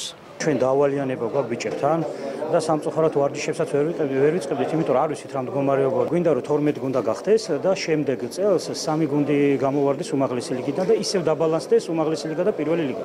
გამოწურილი გვაქვს ჩვენი რესურსი. ახალი კონტრაქტების დადების საშუალება არ აქვს, იმიტომ რომ გაურკვევლობაა. ფაქტიურად ისეთი გაურკვევლობაა, ჩვენ არ ვიცით მომავალში რა გველის. დიდიათი თუ დროულად ვერ დაიწყება, ამან შესაძლოა საფრთხე ეროვნულ ნაკრებსაც შეუქმნას. სოფლიო რაგბის საბჭოს მიერ მიღებულ რეგულაციაზე დღეს კიდევ ერთხელ ისაუბრეს. თამაშების მინიმუმ 4 ტური უნდა იყოს ჩატარებული, რომ იქ მოთამაშე იქ მოთამაშეებს საერთაშორისო თამაშებში კონდეს მონაწილეობის უფლება. ამ შემთხვევაში საქართველოს ნაკრებზეა საუბარი. ქართულ რაგბის ფინანსური პრობლემები რამდენიმე წლის წინაც ჰქონდა, თუმცა ბიძინა ივანიშვილისა და საქველმოქმედო ფონდ ქართუს მიერ განხორციელებულმა 200 მილიონიანმა ინვესტიციამ სპორტის ამსახეობის უდიდესი პროგრესი გამოიწვია და საერთაშორისო ასპარეზზე ჩვენი ქვეყნის ნაკრების წარმატებები საგრძნობლად გაზარდა. 200-დან 132 მილიონი სარაგბო ინფრასტრუქტურის მოწყობას მოხმარდა. აშენდა 16 სარაგბო ბაზა და ქვეყნის 8 ქალაქში თანამედროვე სტანდარტების სტადიონი გაკეთდა. რამდენიმე წლის წინ კი რაგბის საერთაშორისო საბჭომ სოფლიო და ქართული რაგბის განვითარებაში შეტანილი წვლილისთვის ბიძინა ივანიშვილს აერბის განვითარების ჯილდო გადასცა. ქართო ჯგუფის და ბიძინა ივანიშვილის საშუალებით უპრეცედენტო დახმარება იქნა აღმოჩენილი, რამაც ძალიან დიდი გავლენა მოახდინა ქართული რაგბის წინსვლაზე. ადამიანი უნდა იყოს დაუნახავი და უმადური, ვერ დაინახოს თუ რა შრომა აქვს ჩადებული სპორტ ფონდ ქართულს და ბიზნეს ივანიშვილს პრემიერი საქმის ყურშია ამ ჩვენ პრობლემებთან დაკავშირებით და უახლოეს დღეებში ალბათ მოხდება შეხვედრა. გარწმუნებთ რომ არავინ არ დატოვებს რაგბის ამ რთულ პერიოდში რომელიც კოვიდის ეპიდემიამ გამოიწვია ამ სირთულეებთან და რა თქმა უნდა მათ ყველანი დავეხმარებთ. რაც შეეხება პრემიერთან შეხვედრას, რამდენადაც მე ვიცი ის მზად არის, მათ შეხვდეს და ის რომ ჩვენთვის რეგბი მართლაც მნიშვნელოვანი და გამორჩეული სახეობა არის, ამას ადასტურებს ის უპრეცედენტო მხარდაჭერა, რაც ერთის მხრივ სახელმწიფოსგან ქონდა და მეორე ქართულ ფონდისგან და პირადად ბატონი ბიძინა ივანიშვილისგან, რომელმაც 10 წლის განმავლობაში ძალიან დიდი რესურსი მოახმარა იმას, რომ რაგბი ინფრასტრუქტურულად და ფუნქციურად გაუმჯობესებულიყო. რაგბის კავშირის კრიზისული მართვის სათათბირო საბჭო უახლოეს დღეებში უნდა შეიქმნას. საპრეზიდენტო არჩევნები კი დეკემბერში გამართება. 28 წელი აფხაზეთში ომის დაწყებიდან საომარი მოქმედებები, რომელიც 13 თვესა და 13 დღეს გაგრძელდა 1993 წლის 27 სექტემბერს ოხუმის დაცემით დასრულდა. 28 წლის წინანდელმა მოვლენებმა საქართველოს ისტორიაში ბევრი ტკივილი დატოვა. 350.000-მდე ადამიანი საკუთარ ქვეყანაში იძულებით გადაადგილებული გახდა. დაიღუპა 10.000-მდე საქართველოს მოქალაქე. ტრაგიკული მოვლენები დღეს სხვადასხვა ღონისძიებებით გაიხსენეს. დავით ყურაშვილი აქრონიკის პირდაპირ ეთერში. ლევან 1991-12 წლებში მიმდინარე კონფლიქტის დროს უგზო-უკლოდ დაკარგულ პირთა იდენტიფიკაციის პროცესი გრძელდება. წითელი ჯვრის ეგიდით მიმდინარე გათხრები, რომელიც რამდენიმე წლის განმავლობაში მიმდინარეობდა და ასევე მათი ამოცნობის პროცედურა დღეს უკვე დასრულდა და 13 ნეშტი გადაეცათ ოჯახის წევრებსა და ახლობლებს. აქედან 5 არის სამოქალაქო პირი, ხოლო 8 კი გახლავთ მებრძოლი. ეს იყო ამ ადამიანებისთვის ერთგვარი სიხარულით და გახსენებული ჭრილობის ტრაგედიაც. დღეს მიმდინარეობდა სამოქალაქო პანაშვიდის სამების საკათედრო ტაძარში, რომელსაც ცენტრალური ხელისუფლების წარმოადგენლებიც დაესწრნენ, ასევე აქ იყო აფხაზეთის ავტონომიური რესპუბლიკის თავმჯდომარე, პირადად იღებდა სამძიმარ სახელმწიფო მინისტრი ეკატერინე ახვლედიანი, ასევე პანაშვიძე იყო მოსული სოზარ სუბარიც და ვახტანგ გომელაურიც თავისი უწყების წარმოადგენლებთან ერთად. პირველი იდენტიფიცირება და გადმოსვენება მოხდა 2013 წელს და მას მერე მიმდინარეობს ეს პროცესი სულ იდენტიფიცირებულია და გადმოსვენებულია 191 პირი რომლებიც დაიღუპნენ საქართველოს შეერაღებული საქართველოს შეერაღებული კონფლიქტებისას. მათ შორის არიან როგორც სამხედრო მოსამსახურეები ასევე სამოქალაქო პირები. დღეს ჩვენ გქონდა შესაძლებლობა სამხარაულის ექსპერტიზის ბიუროში შევხვედროდით ამ ეტაპზე 8 სამხედრო და 5 სამოქალაქო იდენტიფიცირებული პირის ოჯახებს, რომელთაც კიდევ ერთხელ ვუსამძიმრებ და კიდევ ერთხელ პატივს მივაგებ საქართველოს ერთიანობისთვის დაღუპულთა ხსოვნას. რუსეთმა ბევრი ეცადა და მიაღწია თავის მიგზანს, რომ გაეჩაღებია ომი საქართველოს ტერიტორიაზე, რის შედეგიც არის ოკუპაცია ჩვენი ორი რეგიონის. საქართველოს იქნება ძლიერი და ამის ხარის საფუძველს ძლიერი ის გმირობა, რომელიც ჩვენმა ჯარისკაცებმა ჩვენმა მოსახლეობამ ჩაიდინა და 13 ადამიანი მათ შორის, რომლებიც ითვლებოდნენ უგზო-უგლოდ და კარგულად გადმოსვენდა დღეს და მათ მშობლებს საშუალება ექნებათ მივიდნენ საფლავებზე. ლევან ქართულ-აფხაზური მექანიზმისა და წითელი ჯვრის ჩართულობით საერთო ჯამში ამ პერიოდის განმავლობაში 563 ადამიანის ნეშტი არის აღმოჩენილი, აქედან 161 არის იდენტიფიცირებული, ხოლო რაც შეეხება ამ 13-ს, აქედან რამოდენიმე დაიკრძალება დიღმის ძმათა სასაფლაოზე სამხედრო პატივით, ხოლო ნაწილი თავისი ოჯახის გადაწყვეტილებით საგვარეულო სასაფლაოებზე. ხვალ დღის 3 საათზე.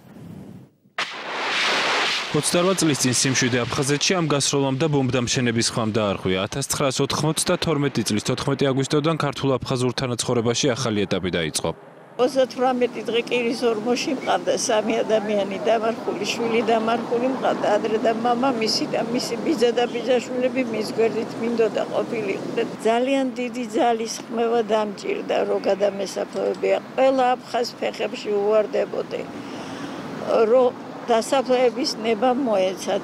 ამაზე მეტი დიდი ტრაგედია რა იქნება, როცა შვილს შენი ხელით დაასაფლავებ. 38 დღის მერე ორმოდან რო ამოიტან 4 კაცს. ამას როგორი გული უნდოდა და როგორი ნერვები უნდოდა. 13-იანი და 13-დღიანი სამხედრო კონფლიქტი რუსული რეგულარული არმიის მონაწილეებით, რომლებიც სეპარატისტ მემბოხებს უმაგრებდნენ ზურგ საქართველოს უახლესი ისტორიის გამორჩეულად ტრაგიკული და მძიმე მემკვიდრეობაა. ამ მოვლენებმა უკურნებელი დაღი დაასვა ასობით ათას ადამიანს. აგვისტო მძიმე თვე დაგვებედა ბოლო აწლეულების განმავლობაში და ყოველთვის უნდა გვახსოვდეს, რომ დღეს ჩვენი ქვეყანა არის ოკუპირებული. და ყოველთვის უნდა გვახსოვდეს და ვიცოდეთ, რომ ეს ის პრობლემაა, რომელიც რადაც არ უნდა დაგვიჯდეს, უნდა გადავწყვიტოთ. და ჩვენ მშვიდობით, შრომით და იმით, რომ ავაშენებთ წარმატებულ ევროპულ სახელმწიფოს, ჩვენი ლტოლვილები, დევნილები, რომლებიც თავის სამშობლოში ცხოვრობენ დევნილად, აუცილებლად უნდა დავაბრუნოთ სახლებში და ერთიან გამთლიანებულ ქვეყანაში უნდა ვიცხოვროთ. დღეს არის მძიმე დღე, ეს არის ჩვენი თითოულის ტკივილი, ჩვენი ტრაგედია და ეს არის გაკვეთილი, რაზეც ჩვენ ყველა მერთად უნდა ვისწავლოთ. და აღარ დაუშვათ კონფლიქტს აფხაზეთში 30000-ზე მეტი მშვიდობიანი მოქალაქე ემსხვერპლა. ასეულობით ადამიანი უგზო-უკლოდ დაიკარგა, დაიჭრა და დასახიჭრდა 10000-მდე კაცი. 350.000-ზე მეტი კი საკუთარ სამშობლოში დევნილად იქცა. დღეს ტრადიციულად საქართველოს ტერიტორიული მთლიანობისთვის დაღუპულ გმირთა მემორიალთან ომში დაღუპულებს პატივი მიაგეს. ჩვენი ხელისუფლება მიუხედავად იმ სხერფლისა, იმ მიუხედავად იმ ოკუპაციისა, რომელიც დღეს ხორციელდება რუსეთის ფედერაციის მხრიდან, საერთაშორისო ორგანიზაციის ჩართულობით ჩვენი დევნილი საზოგადოების მონაწილეობით ჩვენი ოკუპირებულ ტერიტორიებზე საზოგადოების ჩართულობით ყველაფერს გავაკეთებ იმისათვის რომ ჩვენ დროზე მოვახდინოთ დეოკუპაციის პროცესი სამების საკათედრო ტაძარში ხუთი სამოქალაქო პირის და 8 მებრძოლის სამოქალაქო პანაშვიდი გამართა. უგზო-უკლოდ დაკარგულ მებრძოლთა გადმოსვენება სამწუხაროდ კვლავ აქტუალური საკითხია. საქართველოსთვის ოკუპაცია კვლავ ქვეყნის მთავარი გამოწვევაა. რუსეთი დღემდე განაგრძობს ეგრეთ წოდებული ბორდერიზაციის უკანონო პროცესს. ავლებენ მავთულ ხართებს, ითვისებენ მეტ და მეტ ქართულ მიწას. საქართველოს მოქალაქეებს კი იტაცებენ, აპატიმრებენ, არაადამიანურად ეპყრობიან და წამებით კლავენ. ახლა კი COVID სტატისტიკა საქართველოში დღეს 23 ახალი შემთხვევა გვაქვს და აქედან 6 სოფელ ლენჯერიდან 11 ინფიცირებულთან კონტაქტში მყოფი პირია. ორი შემოტანილი შემთხვევაა და ორივე სატვირთო ავტომანქანის მძღოლია ერთი სამედიცინო პერსონალის წარმომადგენელი სამ პაციენტზე მიმდინარეობს ეპიდკვლევა. ამ დროისათვის COVID ცენტრებში სულ 204 პაციენტი მკურნალობს. კვლავ კრიტიკულია 7 პაციენტის მდგომარეობა 17-ის კი მძიმე. თებერვლის ბოლოდან დღემდე საქართველოში კორონავირუსის 1306 შემთხვევა აღრიცხული. განკურნებული განკურნებული 1085 ადამიანი. კორონავირუსის შედეგად სამწუხაროდ გარდაიცვალა 17 პაციენტი. საქართველოს ეპიდრუკაზე კი კვლავ წითელ ზონად რჩება სვანეთი ბოლო 24 საათის განმავლობაში დადასტურებული 23 შემთხვევიდან 6-ის წყარო სწორედ მესტიის მუნიციპალიტეტია. რაც შეეხება ყაზბეგს, აქ მოსახლეობის ტესტირება უკვე მესამე დღეა მიმდინარეობს ბიოლოგიურ მასალას სპეციალისტები არჩისა და გარბანის შემდეგ დაბა სტეფანწმინდაშიც აგროვებდნენ. ლევან მორჩიაშვილი ათემით პირდაპირ ეთერში.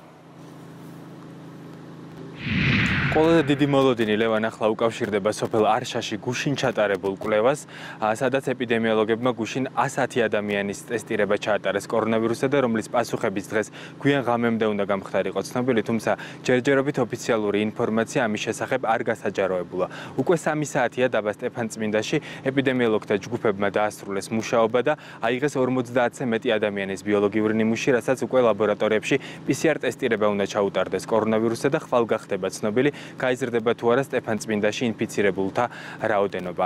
ამ კვლევებმა საბოლოო ჯამში უნდა შეაჯეროს ეპიდემიოლოგიური ვითარება და სურათი დაგვანახოს, რის შემდეგაც უკვე ადგილობრივი ხელისუფლების წარმომადგენლებმა ჯანდაცვის უწყებებთან ერთად უნდა მიიღონ სამომავლო გეგმის შესახებ გადაწყვეტილება. არის მოლოდინი, რომ კორონავირუსით ინფიცირებულთა წრე გაფართოვდეს, თუმცა როგორც ადგილობრივი ხელისუფლების წარმომადგენლები აცხადებენ, ეს ეპიდვითარებას არ დაძაბავს, რადგან ყველა შემთხვევის წყარო არის ცნობილი და ეპიდ ყველა ყველა ეპიდემიოლოგიური კვლევა ჩატარებულია, სადაც იყო მძიმე სიტუაცია მათი შეფასებით. რაც შეეხება კერებს, ყველა კერის ლოკალიზება მოხერხდა დროულად. ახლა რაც შეეხება უშუალოდ ინფიცირებულებს, ბოლო 24 საათის განმავლობაში გამოვლინდა აქ 9 ინფიცირების შემთხვევა, 4 მათგანი უკავშირდება სოფელ გარბანს, 5 კი სტეფან წმინდას. საბოლოო ჯამში ყაზბეგის მუნიციპალიტეტში სულ 13 ინფიცირების შემთხვევა არის დადასტურებული და ყველა წყარო ცნობილია და ის უკავშირდება ლარსის საბაჟო გამშვებ პუნქტს. ყალ საღამოსთვის უკვე გუშინ არშაში, სოფელ არშაში დატესტილი 150-მდე ადამიანის პასუხი გვექნება და უკვე შეგვიძლია ვთქვათ, რომ სრული სიტუაციის ანალიზი შეგვიძლია გავაკეთო და იქიდან გამომდინარე მივიღოთ შესაბამისი ზომები და გადაწყვეტილება. სრულ კონტროლში არის ყველა, იზოლაციაში არიან, არაფერი საპანიკო არ არის და ამ ეტაპისთვის არანაირი საგანგაშო ზომების გატარება არ იგეგმება. გადასტურებული ყავშა 9 შემთხვევა, აქედან 4 არის სოფელი გარბნიდან და 5 დაბა სტეფანწმინდიდან. ესენი არიან საბაჟოს თანამშრომლების კონტაქტები. დაბა სტეფანწმინდაში დამატებით კიდევ მიმდინარეობს ასე ვთქვათ ლაბორატორიული კვლევებისთვის საჭირო პროცედურების სინჯების აღება. ასეთი ადამიანის პასუხისმგებლობით უკვე დღეს აღამოსთვის და ამ ეტაპზე დაბა სტეფანწმინდაში დაითესტა დაახლოებით 50-მდე პიროვნება. ეპისიტუაცია ამ ეტაპისთვის არის მართლადი, რა თქმა უნდა, წყარო ცნობილია ყველა ფიქსირებულის, ყველა კონტაქტი კითხვის ცნობილი გვაქვს და ყველა გადაყვანილია თვით იზოლაციაში. საქართველოს ეპიდემიოლოგიურ რუკაზე კი კვლავ წითელ ზონად რჩება სვანეთი. ბოლო 24 საათის განმავლობაში გამოვლენილი 23 შემთხვევიდან 6 მესტიის მუნიციპალიტეტის სოფელ ლენჯერს უკავშირდება ეს ის დასახლება, სადაც ბოლო 3 დღეა გამკაცრებული არის ზომები და აკრძალულია როგორც ამ დასახლებაში შესვლა და გამოსვლა, ასევე შიგნით გადაადგილებაც. აქ ეპიდემიოლოგებმა უკვე დაასრულეს მუშაობა და ახლა კარდაკარ ტესტირების პრინციპით მუშაობენ სპეციალისტები დაბა მესტიაში. ამის საჭიროება კი დღის წესრიგში მას შემდეგ დადგა რაც გუშინ გამოვლინდა COVID ინფიცირების კიდევ ერთი შემთხვევა. როგორც სპეციალისტები განმარტავენ, ყველა ინფიცირების წყარო არის ცნობილი და ინფიცირებულებთან ყველა კონტაქტი უკვე დადგენილია. საერთო ჯამში სვანეთის ტესტირებას დაახლოებით მაქსიმუმ 3 დღე დასჭირდება. მადლობა ლევან, ლევან მორჩიაშვილი საუბრობდა პირდაპირ ეთერში. ორასლარიანის სახელმწიფოს დახმარება 17 წლის ჩათვლით ბავშვებს ანტიკრიზისული გეგმის ფარგლებში ბიუჯეტიდან ამ მიმართულებით 170 მილიონი ლარი დაიხარჯება. პორტალი სადაც რეგისტრაცია უნდა გაიაროთ, ხვალიდან ამუშავდება. შესაბამისი ინსტრუქცია ჯანდაცვის სამინისტროს ვებგვერდზეა განთავსებული. იმ შემთხვევაში თუ ელექტრონულ პორტალზე რეგისტრაციის გავლას ვერ მოახერხებთ, მაშინ სოციალური მომსახურების სააგენტოს ტერიტორიულ ერთეულს უნდა მიმართოთ. მე ვარ ლაზარე ღურსკაია, 10 წლის და მე ვისურვებ რომ ანუ ამ 200 ლარი დავხარჯო რა ვიცი დრონი, ჩანთა, საათი კიდე ფეხსაცმელი შორტების და ეს იმ სურვილების არასრული ჩამონათვალია, რომელიც ლაზარემ და მისმა ხუთმა დაძმამ სახელმწიფოს მიერ მათთვის გამოყოფილი თანხით უნდა აისრულონ. გეგმა ბევრი აქვთ და ჯერ ზუსტად ვერ ჩამოყალიბდნენ, რა იქნება? პრიორიტეტი, დრონი თუ ჩანთა. როგორც ეკაჭიტანავა ამბობს, ჯერ არ იცის რაში დაიხარჯება 6 ბავშვისთვის განკუთვნილი ჯამში 1200 ლარი, თუმცა იცის ის, რომ სახელმწიფოს მხრიდან მსგავსი გვერდით დგომა. მით უფრო ამ კრიზისის კრიზისული პერიოდის შემდეგ მათთვის მნიშვნელოვანია. 6 შვილის დედა ვარ, 5 ბიჭი და 1 ქალიშვილი. ხუთივე სკოლაში არიან. ძალიან კარგი დახმარება აბსოლუტურად ყველასთვის. მადლობა. ესეთი დახმარებები მრავალშვილიანზე და ისედაც საქართველოსში ყველა მოსახლეზე მართლა მნიშვნელოვანია აბსოლუტურად ყველასთვის. ნულიდან 17 წლის ჩათვლით ბავშვებისთვის 200 ლარიანი დახმარების მისაღებად კი მშობლებს რეგისტრაციის გავლა სპეციალურ პორტალზე ხვალიდან შეეძლებათ. დახმარებას კი სექტემბრიდან მიიღებენ. ჯანდაცვის სამინისტროში დღეს კიდევ ერთხელ განმარტეს, თუ რა სახის ინფორმაციის წარდგენა მოუწევს მშობელს. ამ გასაცემლის მიღების მიზნით ჩვენი სამინისტროს ვებგვერდზე 15 აგვისტოდან მოქმედებს რეგისტრაციის პორტალი, სადაც მშობელმა, კანონიერმა წარმომადგენელმა უნდა ატვირთოს ბავშვის პირადი ნომერი და სახელი გვარი, საკუთარი მონაცემები და ასევე ბანკის ანგარიში. თავარი მიზანი არის ბავშვის საუკეთესო ინტერესის გატარება და ეს არის ჩვენი პოლიტიკა. ელექტრონული პორტალი ოფიციალურად ხვალიდან ამოქმედდება. მანამდე კი სოციალური პაკეტის შესახებ დეტალური ინფორმაციის გაცნობა ჯანდაცვის სამინისტროს ოფიციალურ ვებგვერდზეა შესაძლებელი. სურვილთა დიდი რაოდენობიდან გამომდინარე, შესაძლოა ელექტრონულ პორტალზე გარკვეული ტექნიკური შეფერხება იყოს, თუმცა მოქალაქეებს არაერთი ალტერნატივაც ეკნებათ. პორტალზე რეგისტრაცია არის უმარტივესი, ნებისმიერი მშობელი ყველანაირი პრობლემის გარეშე შეძლებს არეგისტრირებას. იმ შემთხვევაში, თუ წარმოიშვება რამე ტექნიკური ხარვზე ამ პრობლემა ან კითხვები ექნება მშობელს ბავშვის რეგისტრაციასთან ან კანონიერ წარმომადგენელს, აა მითითებული არის ხელხაზის ნომერი სააგენტოს სერვის ცენტრები სამუშაო დღეების განმავლობაში მუდმივ რეჟიმში მიიღებენ მოქალაქეებს 880000-მდე ბავშვისთვის ანტიკრიზისული გეგმის მესამე ეტაპის ფარგლებში სახელმწიფო ბიუჯეტიდან საერთო ჯამში 170 მილიონი ლარი დაიხარჯება. ახალი სასწავლო წელი 15 სექტემბერს საკლასო ოთახებში, თუმცა განსასრული წესებით დაიწყება. მაგალითად, კლასში მოსწავლეთა რაოდენობა არ უნდა იყოს 29-ზე მეტი და ბავშვებს შორის 1 მეტრიანი დისტანციაც აუცილებელი პირობაა. თუ სკოლის შენობაში ამის შესაძლებლობა არ არის, მაშინ სასწავლო პროცესი რამდენიმე ცვლად უნდა წარიმართოს. განიავება, ზედაპირების დამუშავება, სველი წერტილების ხშირი დეზინფექცია, ასევე ერთ-ერთი მთავარი პირობაა. ერთმეტრიანი დისტანციის დაცვა პირბადე ყველა შემსვლელისათვის გარდა მოსწავლეებისა. სივრცის დეზინფექცია და განიავება. ეს იმ რეკომენდაციების არასრული ჩამონათვალია რომელიც განათლებისა და ჯანდაცვის სამინისტროებმა სკოლებისთვის ერთობლივად შეიმუშავეს. განათლების სამინისტრო ყველა საჯარო სკოლისთვის უზრუნველყოფს სასწავლო პროცესის ანუ 15 სექტემბრამდე სასწავლო პროცესის დაწყებამდე ყველა ჰიგიენური და სადეზინფექციო საშუალებებით აღჭურვავს საჯარო სკოლებს კაცრი რეკომენდაციების დაცვა ყველა სასწავლო დაწესებულებას მოუწევს. მიუხედავად კორონავირუსის დადასტურებული შემთხვევების ზრდისა, ჯანდაცვის მინისტრის მოადგილე ამბობს, რომ სწავლის გადავადების საფუძველი არ არსებობს. უსაფრთხოდ სწავლის დაწყება და გაგრძელება არის რეალისტური პერსპექტივა იმის გამო, რომ პირბადის გამოყენებას აქვს თავისი წესი. და თუ ეს წესი არ არის დაცული და ამ შემთხვევაში ხშირად ბავშვმა შეიძლება ვერ დაიცვას ზედმიწევნით ზუსტად ის ჰიგიენური ნორმები, რაც პირბადის გამოყენებას უკავშირდება, მოიხსნას არასწორად გულზე დადოს ან არასწორად გაიკეთოს, ამ შემთხვევაში უმჯობესია ბავშვი იყოს პირბადის გარეშე, მაგრამ ყველა სხვა დანარჩენი უნდა იყოს პირბადით. რეკომენდაციები 2084-ვე საჯარო სკოლას გადაეგზავნა. დაიწყო სამზადისიც. დეზინფექცია უტარდება სასკოლო მერხებს. სავალდებულოა დეზობარიერი და თერმოსკრინინგი. სკოლას პირბადეების მარაგიც უნდა ჰქონდეს დასვენების შემდეგ კი სველი წერტილები სანიტარულად უნდა დამუშავდეს. იმ შემთხვევაში თუ მოსწავლეს სიცხე ან რესპირატორული სიმპტომები გამოუვლინდა, უნდა მოთავსდეს დროებით საიზოლაციო ოთახში და სკოლა მიმართოს ცხელების ცენტრს. საკლასო ოთახების საშუალო ფართი 50-53 კვადრატული მეტრია, შესაბამისად, სკოლაში შევძლებთ სრულად 7-10 მოსწავლის საკლასო ოთახებში მიღებას, იწყება დალაგება, მომზადება საკლასო ოთახების იმ რეკომენდაციების გათვალისწინებით, რასაც გვაწვდის ჯანდაცვის სამინისტრო. სასწავლო პროცესის უსაფრთხოებისათვის განათლების სამინისტრო იუნისეფთან თანამშრომლობს.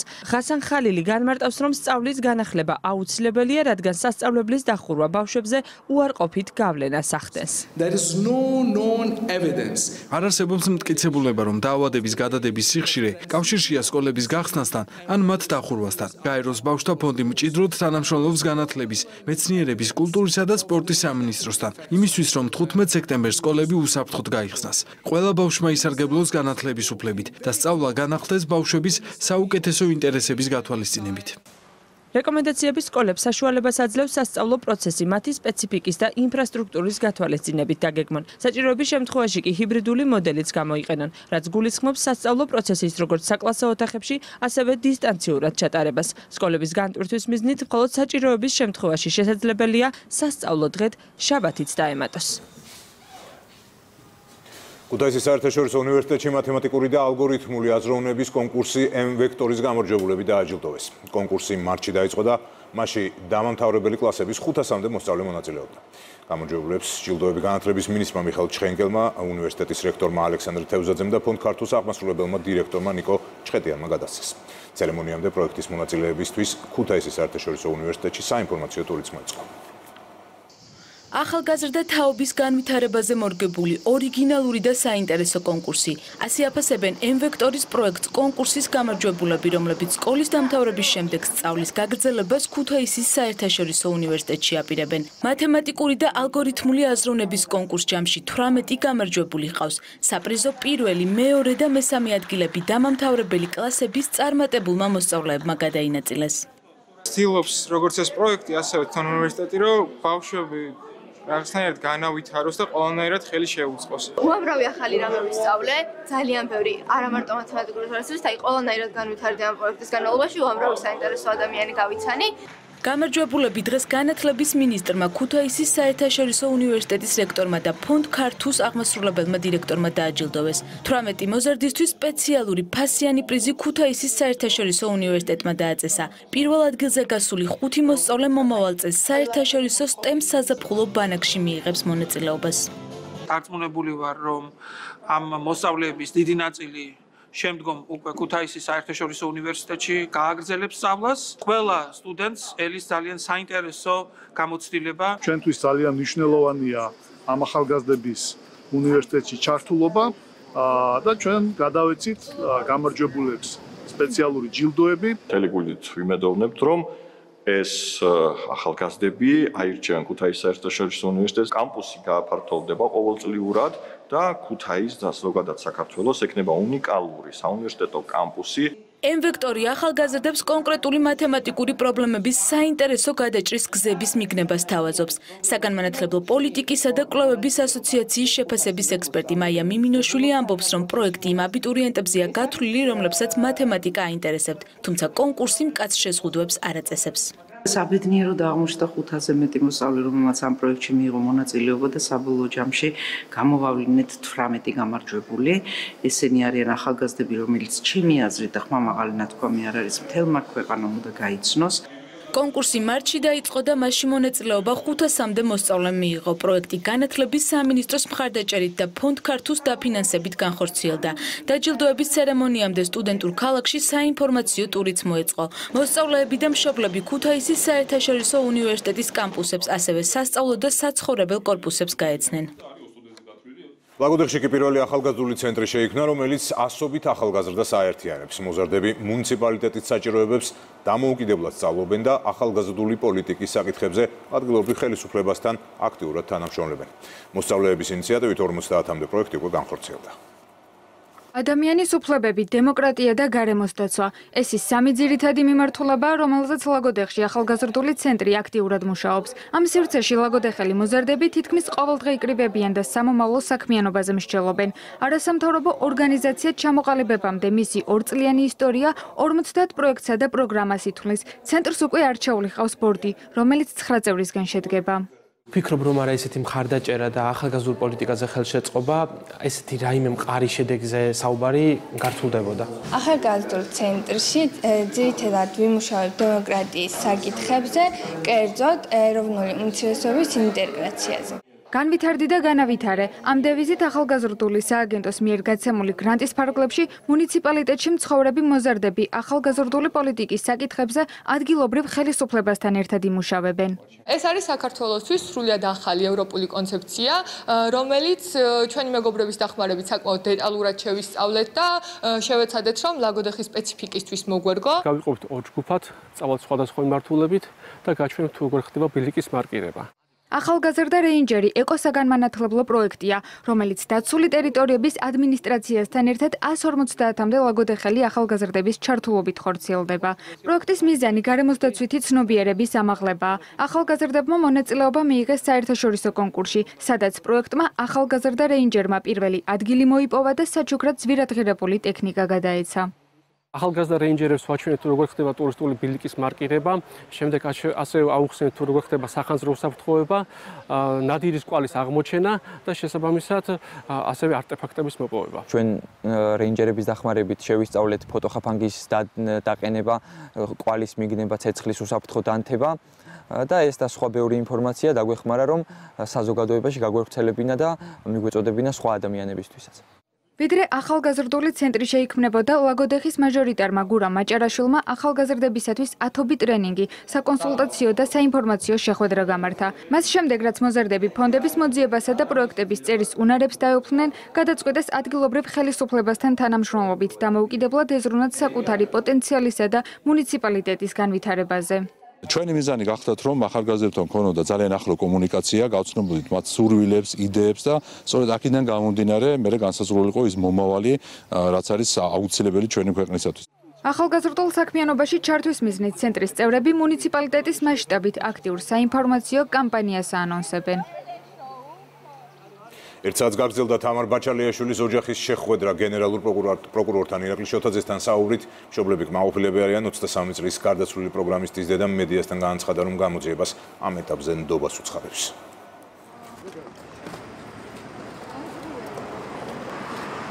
ნდობა მქონდა და კარგი კარგი შეხვედრა იყო და კმაყოფილი ვარ. გენდობი მოთხოვნა ირაკლი ყველაფერზე გექნება პასუხიო. მოთხოვნა ნუ ამ გოგორელიანთან დაკავშირებით ბოდიში მოიხადეს და ჩამოაშორეს იმას რა ქვია ჩვენ საქმეს შინაგან საქმეთა სამინისტროს საექსპერტო კრიმინალისტიკურ დეპარტამენტს შეერთებული შტატების ელჩი ეწვია დიპლომატს კოლეგებთან ერთად ministrმა უმასპინძლა. ვახტანგ გომელაურმა კელი დეგნანს მუშაობის სპეციფიკა გააცნო და ლაბორატორიები დაათვალიერებინა.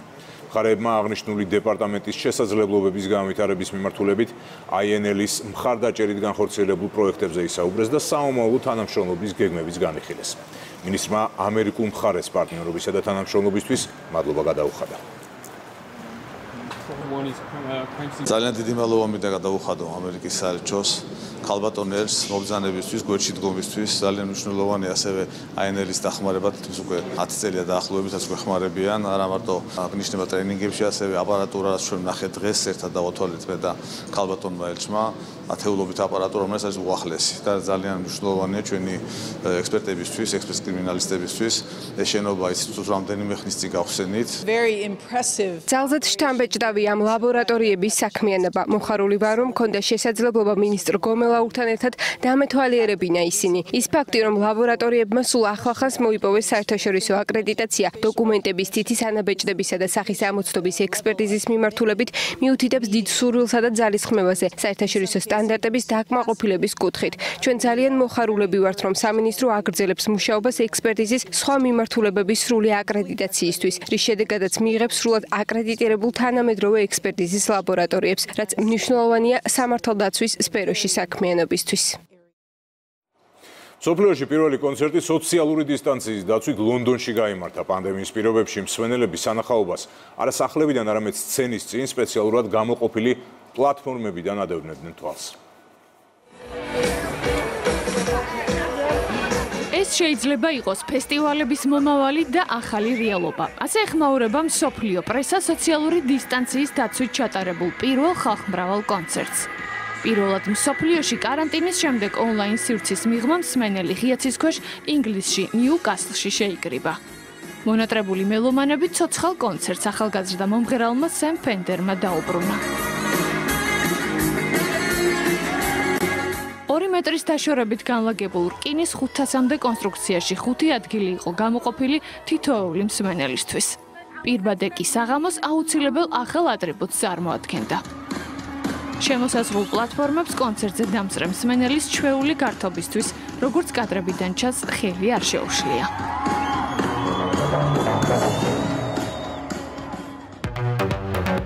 სოფლიოს ერთ-ერთი ცნობილი ელექტრონული მუსიკის ფესტივალი Tomorrowland-ი კი წელს ონლაინ ჩატარდა.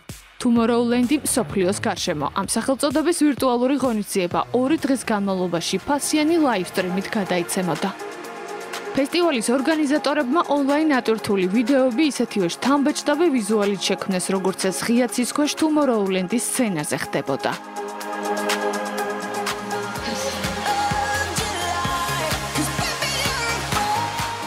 ამ ვიდეოში პოპულარსკლავი კეტი პერი სინამდვილეში მწვანე ფონზე დგას. თუმცა Tomorrowland-ის შემქმნელებმა მისი გამოსვლა ვირტუალურად ჩვეული ჯადოსნობით დატვირთეს.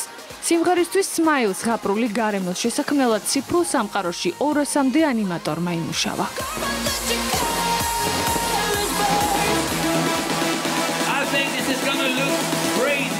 ონლაინ დადგა Tomorrowland-ის ციფრულ ფესტივალზე ცნობილი ფრანგი DJ David Guetta. სინამდვილეში კი მუსიკალური სეტის ჩაწერისას მის წინ მხოლოდ შემოქმედებითი ჯგუფის 15 წევრი იდგა.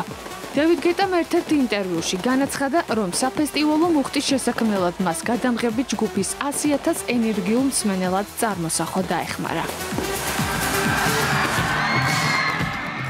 ოქტომბრამდე გადაიდო კალიფორნიაში კიდევ ერთი სოფლიოში ცნობილი ხელოვნებისა და მუსიკის ფესტივალი კოაჩელა. ჯერჯერობით უცნობია რა ფორმით გაითვალისწინებს მსმენელისთვის სოციალური დისტანციის დაცვის ნორმებს სოფლიოს ერთ-ერთი ყველაზე მასშტაბური ფესტივალი.